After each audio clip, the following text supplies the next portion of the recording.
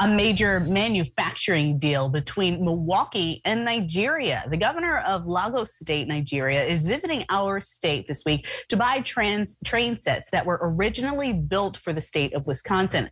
CBS 58's Rose Schmidt is in Milwaukee's Century City Business Park to explain the train set's complicated political history and why city leaders say this deal is bittersweet.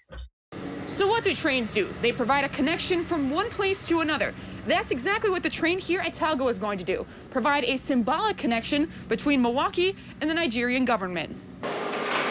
11 years after they were made, these trains are set to leave their manufacturer.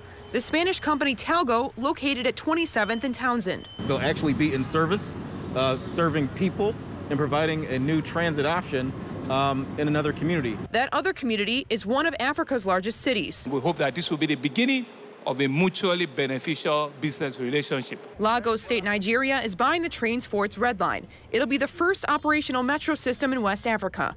The area currently has heavy traffic congestion with limited rail support. It's all about providing jobs, jobs, jobs for our people. And that's what we're doing. It's about ensuring that we can build our economy, is that our people can move from one location to another. For us, it's important that our trains are utilized. You know, it doesn't make any good for the trains that we built uh, in Wisconsin to be stored or to be kept uh, without passengers riding them. So why have these trains been in storage for a decade? Politics. In 2009, former Governor Jim Doyle announced the state would buy two Talgo trains to use for the high-speed rail to connect Madison and Milwaukee.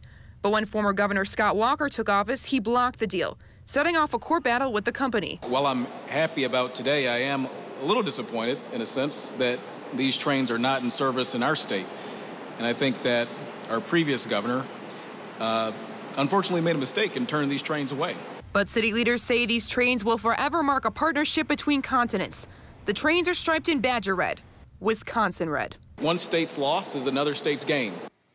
The new line is expected to open later this year with a capacity of 500,000 passengers per day. Reporting in Milwaukee, Rose Schmidt, CBS 58 News.